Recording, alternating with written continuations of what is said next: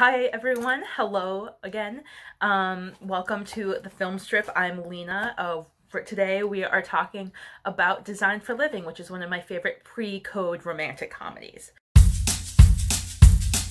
So what do I mean by pre-code?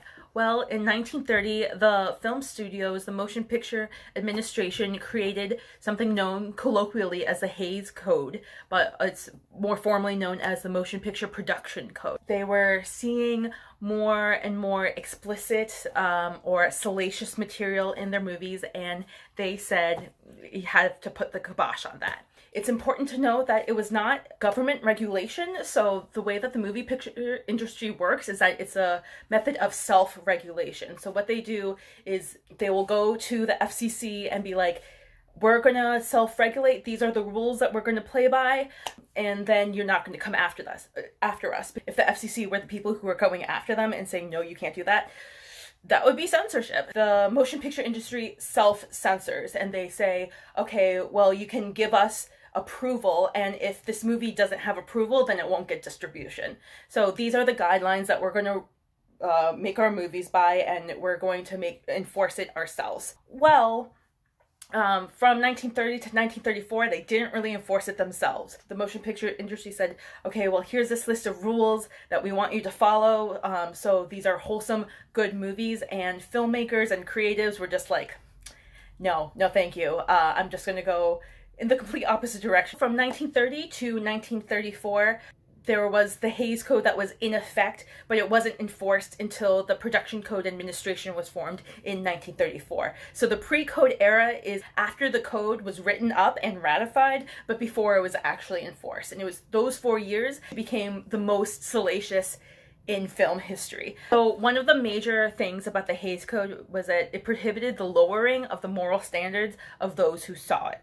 So what that means is um, no depictions of what they called sex perversion, which is coded basically for homosexuality, premarital sex, women desiring sex. There also could not be any relationships between white and black characters, and it can also not depict triumph over the law or sympathy for lawbreakers. So after the Hays Code went into effect, we actually get a lot of things working around those restrictions. Uh, we get really creative with it. We get a lot of queer coding. We get a lot of explicit talk, but through metaphor or whistling. It doesn't go away. It just changes the way that we talk about it. What's really interesting about the pre-code era is that it's much more direct, it's much more explicit, and it's sometimes uh, just a little bit more fun because it's sort of uh, freer you kind of get an idea that people haven't really changed all that much. So the things that we talked about in the 30s, we're still talking about now. So in preparation for watching this film, there are a couple of things that I think we should think about while we're watching the film, maybe some questions that we should ask ourselves,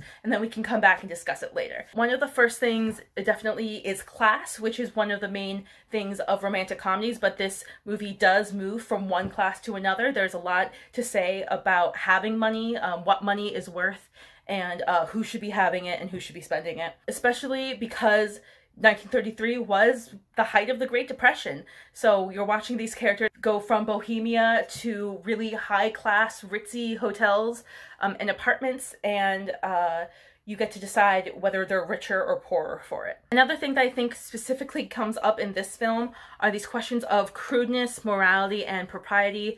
What is the proper thing to do? Uh, what makes a nice girl? Um, what, sh what should your role be in society? What do you owe to other people?